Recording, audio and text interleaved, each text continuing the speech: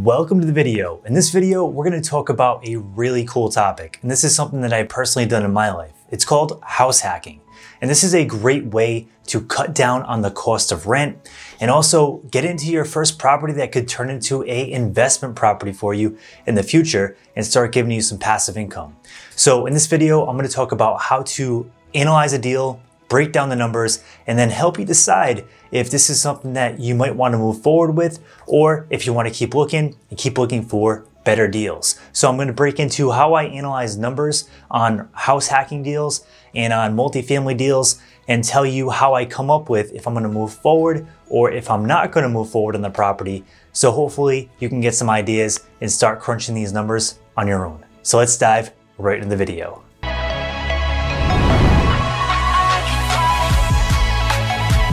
Okay, so welcome to the video. In this video, we're gonna talk about one of my favorite topics, and that's house hacking. But before you house hack, it's really important to learn some of the concepts around analyzing a deal before you move forward, because house hacking has been a blessing for me.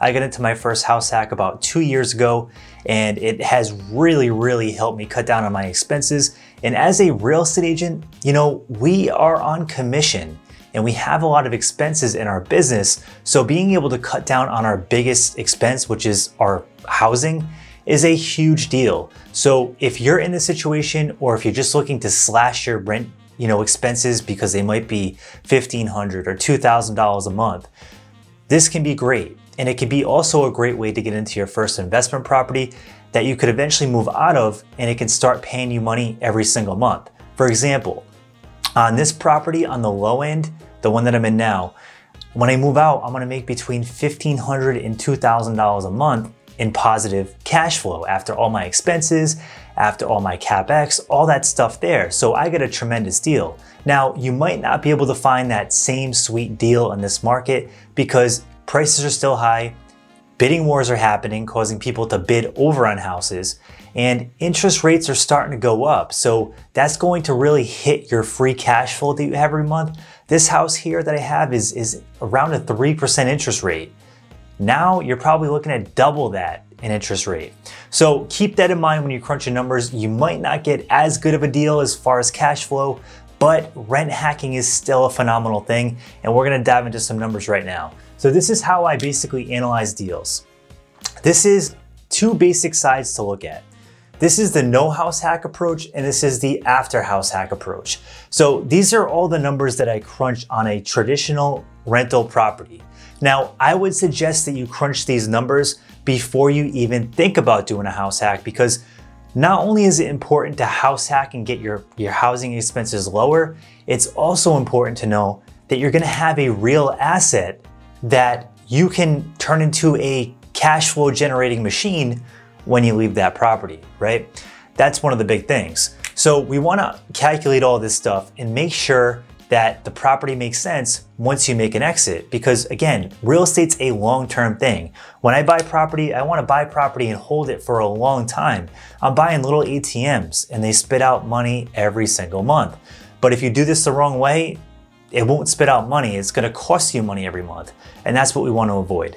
So let's look at a example property. I just, you know, put some rough estimates up here. I used a mortgage calculator to crunch some of these rough estimates. So they're pretty accurate on what it would cost. Obviously property taxes vary in different parts of the country, but this will give you a good idea.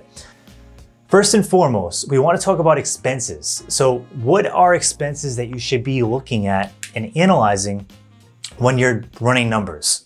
First and foremost is your loan.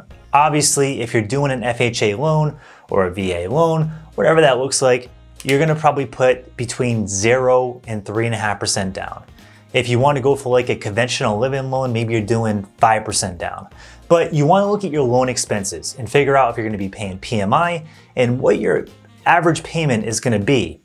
Next, we wanna look at property tax. Depending on the city you're buying in, is going to depend how much property tax you get hit with every single year. Now, property taxes are typically broken up into a 12 month you know, uh, payout plan and it's done with your mortgage escrow account. So your mortgage payment and your taxes are typically paid at the same time because your mortgage company wants to make sure you don't default on the taxes. And that's just how they usually want it done. So calculate that. And then you want to count, calculate your homeowner's insurance, your PMI, if you're going to get PMI, to, you know, if you're going to do an FHA loan and you're not putting, you know, 20% down, and uh, then you wanna look at CapEx. Now you might be wondering, what is CapEx? Well, it's basically a capital expenditure. And it's, it's not complicated. Basically, the, the, the, what you wanna do is you wanna take the gross rents and you wanna use 10% of that and put that aside every single month for when something breaks. When something big breaks, you have this money in your account. That's called CapEx, okay? So in this particular property example, you know, we're gonna use $1,200 per door. There's three doors. We're gonna use a three unit for this example. So the property is gonna make $3,600 a month in gross rent. So CapEx, what would it be? 36, 30, uh, $360 because you're taking 10% of 3,600, that's 360.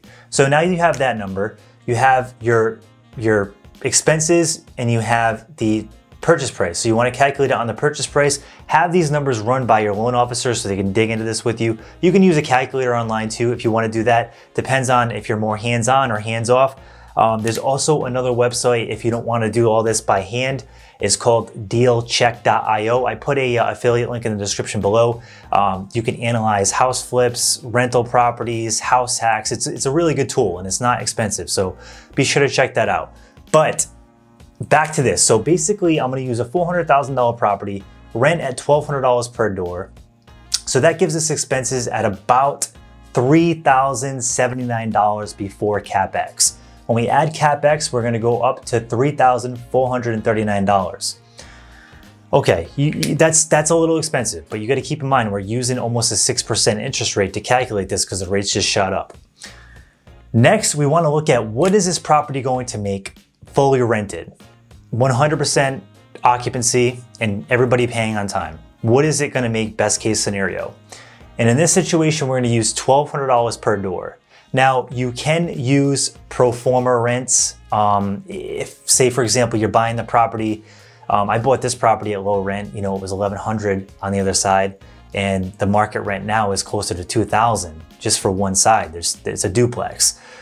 So you can, you can use that, just be very careful with that because if you do it the wrong way and, and you, you over project, you can walk into a real bad situation if you can't get those projected numbers that you that you estimate. So I would say highly use caution against doing that, but if you know for a fact that it can rent for that and you have experience and you are with a trusted advisor, then then then maybe you can put that into your equation on if you want to, you know, move forward or not. But let's just use this example, $1,200 per door. That's $3,600 a month in gross rents. So we wanna take the 3,600 and minus it by the 3,439. That gives us a cash flow of $161 a month. So every month you're gonna make $161. That's fully rented, you not living there, that's once you move out. You know, that's not good. I personally wouldn't buy that deal. Um, some people would, if you're in a location where maybe appreciation is crazy and you're gonna speculate on the market going up, maybe you do that. I personally wouldn't buy it. I like cash flow. Um, I'm a cash flow investor. In my opinion, cash flow is the key that buys you financial freedom. And that's what I'm chasing. I'm not gonna speculate um, uh, on an asset appreciating. Like if it does, that's great. But I'm really after cash flow and I'm after reliable cash flow right?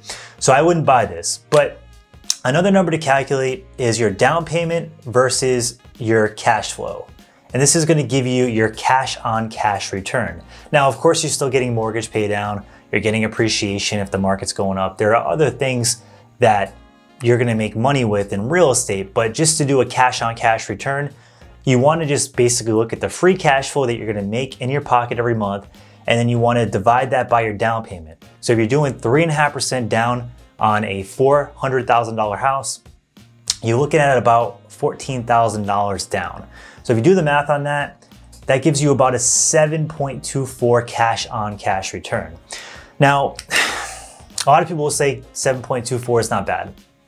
Maybe not, but you got to keep in mind you're using a lot of leverage, and leverage is like a knob, right? It's it's basically a, like a volume knob, and the more leverage you use, the more risk you bring into your investment, and the less leverage you use, typically the less risk, right? So the more money you put down, the lower your cash on cash return is, is going to be because you're using less leverage. So while 7.24 doesn't look bad, considering you're using so much leverage to get into the, the investment and the asset, in my opinion, I wouldn't go for this. Um, you know, on my stuff, when I when I go for properties, I, I want like 15 or 20% cash on cash minimum. Um, now, depending on how much you're putting down, that might be great or it might not be great. Uh, but something like this, I would not do this, and I'm gonna show you why. Let's dig a little deeper. Um, and again, guys, this is not investment advice. This is all my opinion. This is what I personally do. So take it with a grain of salt and get involved with trusted advisors if you're gonna go forward on this, okay?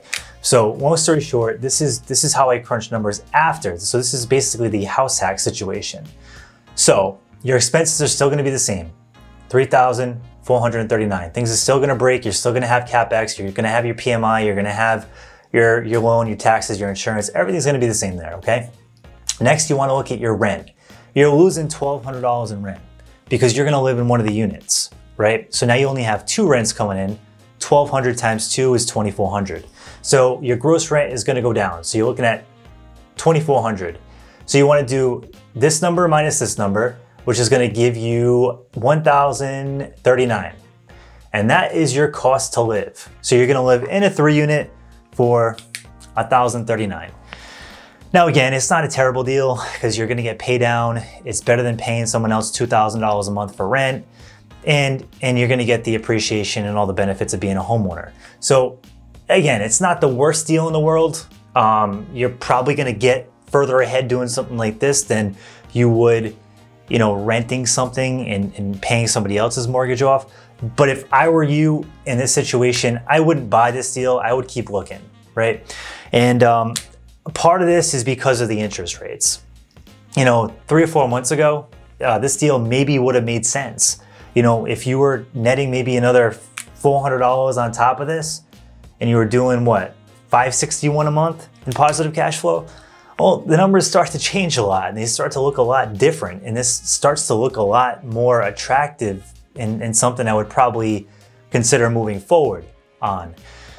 But you got to keep in mind, the market's changing and a lot of people are speculating on whether it's going to keep going up or if it's going to balance out or if we're going to start seeing a downtrend. And typically when interest rates rise, real estate prices fall. We haven't seen that yet. So as an investor, you might be in a little bit of a, a tight squeeze here because as, as if the, the interest rates go higher and higher and higher, it's gonna start squeezing this cash flow number.